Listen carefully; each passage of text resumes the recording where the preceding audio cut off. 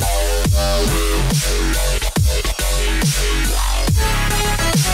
Yo tout le monde Yo On se retrouve pour un nouveau vide-grenier Oui. Aujourd'hui, bah pas beaucoup de vide-grenier, hein, euh, on en a fait qu'un d'ailleurs. La Hesse Mais du coup, on dépense pas beaucoup d'argent. Ouais, c'est Donc, bien. euh, On en a dépensé dans d'autres trucs, dans un magasin en particulier euh, qui Oui. s'appelle Ultima. On s'est fait plaisir. Avec trois pop. On va commencer cette vidéo par de l'achat hebdo, ça faisait longtemps. Les prix sont intéressants. Ultima, ils ont beaucoup de pop toujours. Je sais pas si vous en avez par chez vous des Ultima. Et les prix sont toujours, je trouve, un peu plus intéressants que Micromania. Montre-nous la première pop que tu as achetée. Cette pop, c'est une pop d'ici. Et de là. Et d'ailleurs, Et au-delà, Batman Imposteur, on a déjà une pop comme ça, c'est la. Harley Quinn Imposteur. Et là, c'est la Penguin, The Penguin Imposteur. Elle est trop trop belle. Du coup, c'est toute une collection avec les méchants qui sont déguisés en Batman. Du coup, j'aimerais bien avoir toute la collection parce que. c'est clair, mais elles sont très difficiles pour certaines à trouver. Celle-là, on l'a chopée pour 13 euros. Ouais. 12,99, ce qui est très bien. Très content. Ouais. Je vais vous présenter une pop pour ma part qui n'est pas déballée. Tout simplement parce que c'est pas pour nous, c'est pour Nono. Nono, Nono, Nono. Vous ne le savez peut-être pas, mais Nono se met dans la collection de pop, là, à fond, à fond, euh, Alès aussi d'ailleurs. Et Nono se concentre vraiment sur Disney, et en particulier sur un dessin animé, le dernier Disney, qui n'est autre que Moana. On lui a trouvé la Moana Voyageur. C'est une exclusive de chez Walmart, donc c'est plutôt cool. Les Walmart, on en trouve pas beaucoup en France, Ouais. tout simplement parce que c'est un magasin américain. Elle est à 20 euros, ce qui est un très bon prix pour cette exclusive, parce Ouais. qu'elle va sûrement coter, c'est une Disney, les Disney, on Mm. sait comment ça cote. Nono, je pense que tu vas être très contente, mais de toute façon tu l'es déjà, t'es déjà au courant, voilà, mais tu l'as en vidéo, ta pop, là, pas vu là? Vous pouvez pas très bien la voir, mais voilà, je vais vous la montrer comme ça. Vraiment magnifique, la couronne de fleurs, sublime. Et la dernière, c'est une pop vraiment super cool parce qu'elles sont mais introuvables. Vraiment, si vous en avez déjà vu, fallait sauter sur l'occasion parce que on fait. les trouve pas. Et là, on est tombé dessus, on a fait What the fuck? On a fait what the fuck? Moi j'ai fait oh my god, mais bon après, Ah, ok, oui, moi je respecte ton what the fuck. Et donc c'est en fait une pop de South Park et c'est la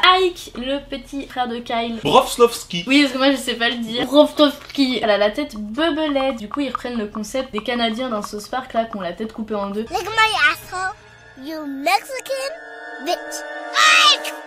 Ça marche grave bien, elle est vraiment sublime, moi elle me fait beaucoup rire, en plus elle est mignonne. toute petite par rapport à une pop normale. Petit bébé Ike. Et moi j'avais euh, une seule pop toute petite comme ça, c'est Nifleur de Futurama. Donc je suis très content, en plus dans la collecte elle fait vraiment bien. Et on l'a eu du coup pour 14,99, ce qui est vraiment raisonnable quand on sait que les pop South Park sont introuvables maintenant. 14,99 étant le prix dans les Leclerc et tout des pop normales pas exclues, Ouais. ce qui est trop cher hein, pour une pop normale. Mais pour les South Park, c'est un bon prix parce qu'elles sont très rares effectivement. Je vais vous présenter un petit jeu de PS3. Il était à 5, mais j'ai réussi à le négocier à 3, ce qui est plutôt cool. Alors la petite anecdote qui est assez marrante, c'est que je l'ai trouvé sur un stand de gamins. Ils avaient ce jeu-là de PS3 qui est Leisure Suite Larry Box Office Bust. C'est pas le Leisure Suite classique où c'est très clairement porno. Là, c'est sur l'industrie du cinéma en général. Mais il y a quand même marqué 16 ans et plus. Langage grossier, drogue et sexe derrière. Donc, je pense que c'est un peu du cul quand même, tu vois. Il est complet. C'est vraiment stéréotypé à mort les jeux Leisure Suite et moi ça me fait beaucoup rire. Donc, euh, j'espère que celui-là est bien. Box Office Bust. C'est Funsta qui fait ça. Donc, euh, voilà. Qu'est-ce que tu vas nous présenter, net? Pour ma part, moi je vais vous montrer un petit CD que j'ai acheté, donc c'est vraiment pour moi parce que c'est ma petite collection à moi. Oui. Si vous avez regardé la FAQ, je suis en fait fan de Michael Jackson et du coup je collectionne euh, les canards vivants. Je collectionne du coup ses albums. Rappelez-vous, j'ai trouvé l'édition collector de Dangerous. euh, Magnifique. Donc là c'est un CD tout simple, c'est Of the World, donc son premier solo du coup, qu'il a fait en 79. C'est l'édition spéciale, c'est la collection que j'ai en fait, donc euh, je continue de les acheter dans cette édition là. Et c'est en fait avec des chansons inédites ou des versions maquettes des chansons en fait. euh, C'est ce que tu des m'expliquais. ouais. Donc c'est pas une édition originale, là pour Non. le coup c'est plutôt une édition remasterisée, mais en tout Voilà. cas refaite avec des chansons en plus. Ce qui est cool aussi. Elle date de 2001 cette édition là, donc quand euh. Invisible est sorti. Ils ont sorti en 2001 tous les anciens Voilà, albums en ça. collector. Et tu les as tous sauf celui-là en fait, c'est ça Voilà, je les avais tous sauf celui-là. Je l'ai payé 2 euros, je voulais le négocier à 1 parce que voilà, normalement il y a un carton en fait autour, donc ça m'embête un petit peu qu'il y soit pas. En petit of the Wall, on est content, il est euh, parfait. Oui, il est parfait, j'ai regardé le CD bien sûr avant toute chose. Eh bien, j'ai envie de vous lancer l'instant carte, c'est parti. Ouais ouais.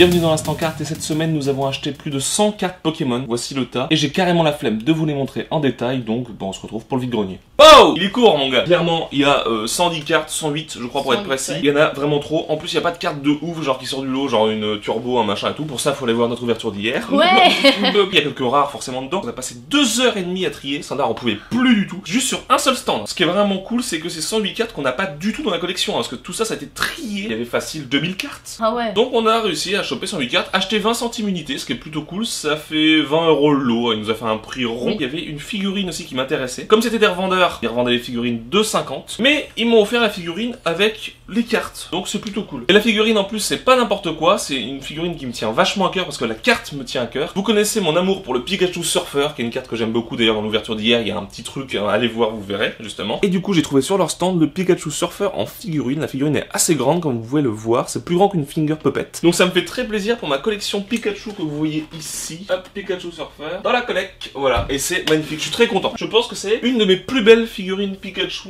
même presque ma préférée parce que euh, c'est Pikachu Surfer, quoi. Et il adore le police de Nice. T'es cassé Et comme je suis dans les figurines, je vous montre très rapidement une autre petite Finger Puppet qu'on a chopé sur un autre stand. Ah ouais, tu voles ma place. Ouais, je vole ta place, mais en même temps, voilà, il y a une autre figurine. Et donc, je l'ai payé 1 euro, un petit peu cher, mais c'est un Axolotl, et Axolotl est un de mes Pokémon préférés. Si vous ne le savez pas, j'ai une collection Canartichaud, Abra, Kadabra, Alakazam, forcément toute la famille, Psychoquack et Aquaquack, et Axolotl et Marest. Rien d'extraordinaire, le petit Axolotl Finger Puppet, mais en parfait état, et je ne l'avais pas. Un peu cher pour une finger puppet. C'est un peu cher pour une Finger Puppet, je suis d'accord avec toi, Sandar, mais en même temps, c'est un Axolotl, je ne l'avais pas, donc ne me fais pas chier, s'il te plaît Bah, je vais te faire chier, moi. Je vais te faire chier avec des jeux vidéo. Et le mec, il est trop vénère. Et en fait, c'est la trilogie de Die Hard. C'est très très cool. Donc c'est sur PS1, donc c'est dans une boîte de DVD, mais c'est bien un jeu de PS1. Il y a la jaquette de devant, la jaquette de derrière, et dedans il y a le livret et le jeu en parfait état. Donc en fait, il suffit de retrouver une boîte de PS1, on pourra le reconstituer complètement parce que voilà, ils ont aplati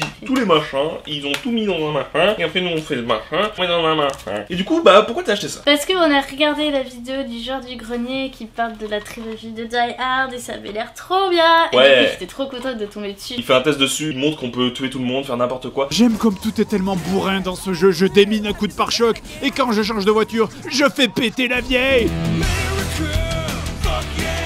C'était comme un peu un GTA à l'époque, en plus dégueulasse forcément parce que PS1 est en vraiment drôle, donc euh, ça peut être vraiment vraiment marrant à faire. On a payé ça combien, ma chère Sandra? Un euro. 1 euro, c'est pas cher. C'est pour ça on n'a pas hésité, c'est du PS1 et c'est une trilogie. C'est pas Pas n'importe quoi. Et je vais vous présenter quelque chose qu'on a trouvé sur le même stand. Cette fois-ci c'est pour la PS2. Ce n'est pas un jeu, c'est un accessoire ou une manette on va dire. Donc vous branchez en USB, il y a 4 manettes qui sortent, donc c'est pas mal. Et ce sont des manettes de buzz. Le jeu de questions-réponses un peu à la qui veut gagner des millions où vous avez 4 propositions, vous pouvez buzzer et répondre aux 4 questions. J'ai juste posé ça parce que ça fait un bruit d'enfer quand je parle. Il avait des jeux buzz hein, sur PS2, mais des buzz juniors. Nous ça nous intéressait pas tellement les buzz juniors parce qu'on a déjà vu des jeux buzz passer dans les vides greniers comme ça. Ce sont des jeux de société en fait sur le cinéma, sur des choses comme ça. C'est plutôt intéressant. Le truc c'est qu'on s'est jamais arrêté à les prendre parce qu'on n'avait jamais vu les manettes. En trouvant les manettes à 3 euros, on s'est dit bah la prochaine fois quand on tombera sur un buzz qui nous intéresse, qu'il y en a eu beaucoup, et ben on pourra l'acheter. C'est plutôt Ouais. cool. Très content pour ce petit euh, manette de buzz. Et encore sur le même stand parce que du coup on a acheté plein de trucs au même stand. Très clair. Donc là c'est deux Blu-ray assez classiques on va dire. À avoir, tout simplement. Tout à fait dans son Blu-ray Tech. Blu-ray Tech.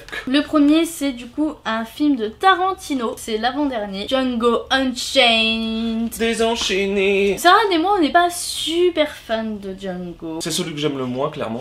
Moi aussi. On l'a pris quand même parce qu'il faut l'avoir. On a pratiquement tous les Tarantino Oui. en Blu-ray. Dès qu'on voit un Tarantino on saute dessus. Exactement. Surtout que les on Blu-ray... saute sur le Blu-ray. Ouais on saute dessus. C'est complètement con ce que ça pète, hein, les. Blu-ray, mais bon. De toute façon on l'a payé que 2 euros. C'est pour ça qu'on l'a pris, ouais, tout à fait. Django, qui est un western spaghetti, Oui. librement inspiré d'un ancien film qui s'appelait Django. Donc, c'est pas mal, mais je trouve pas que c'est là-dedans qu'il excelle le mieux dans les westerns. Mhm. À part, euh, du coup, Les 8 Les salopards, salopards, qui est peut-être un des meilleurs et qui est un western. Donc, Ouais. mais pas spaghetti. Et du coup, le deuxième Blu-ray, c'est cette fois-ci un film d'horreur. Ah non, ça me fait peur. The Grange. The Grunge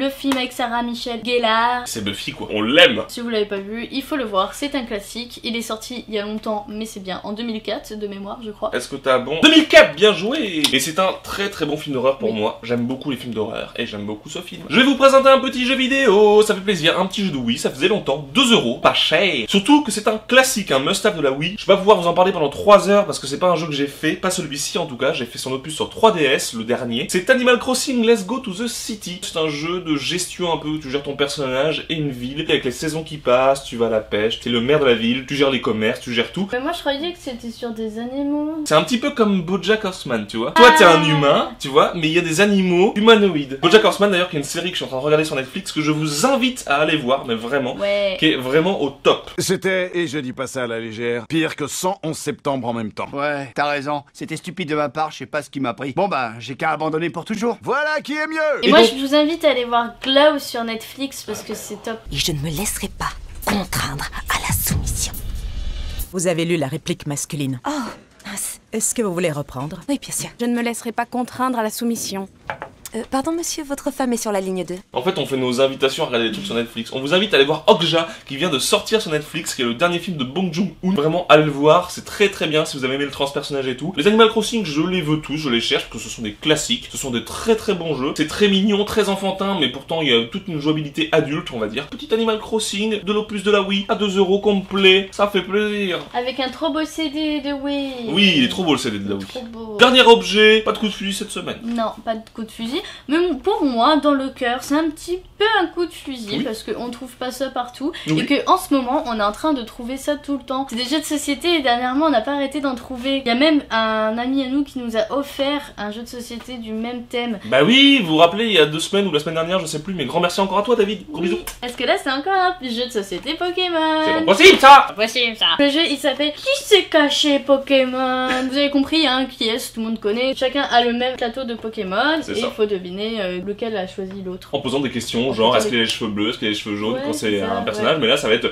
est-ce qu'il est type feu, est-ce qu'il est mignon est-ce qu'il est C'est sorti en 2009, donc c'est la période de platine. On voit les légendaires. C'est un jeu de chez Bandai. Accrochez-vous, on l'a payé 1 euro. Ouais, ouais. On l'a ouvert, on a regardé un petit peu. Il y a tout dedans et c'est en très bon état Dans des petits sachets et tout, je sais même pas si des on petits utilisait ce jeu, hein. il, est nickel. Et il y a le petit Shaymin, et Tortillipousse, et Wistikram, et Tiplouf. Tu 4 ans et plus. On va pas se faire des grosses soirées avec Sander en mode alors, Ah, qui si. S'est caché Pokémon On vous fait une vidéo qui s'est caché. S'il y a 30 000 pouces bleus, tu sais, avec 700 et quelques abonnés, 30 000 pouces bleus, c'est possible. Challenge accepted ou pas? Non, moi je dis s'il y a beaucoup de commentaires, on le fait. S'il y a 4000 commentaires, Ah On fait. Et bah sur ce, on vous laisse. Laissez-nous 30 000 pouces bleus parce que Ouais. c'est important. Laissez un commentaire. Léchez un commentaire. Léchez. Oui, bah oui. Et bah pourquoi pas. Vous prenez un commentaire de n'importe quelle chaîne YouTube que vous aimez. Vous l'imprimez, vous le découpez, vous le léchez, vous nous envoyez une photo sur pliage de papier@gmail.com. Et puis abonnez-vous à la chaîne si c'était pas encore fait parce qu'on aimerait bien atteindre les 1000. Ça ferait plaisir. Attends, on est à Bah 700 et quelques. Enfin, pas bon, on va falloir bouger son cul, c'est plus possible. Allez, à très bientôt. Ciao les amis.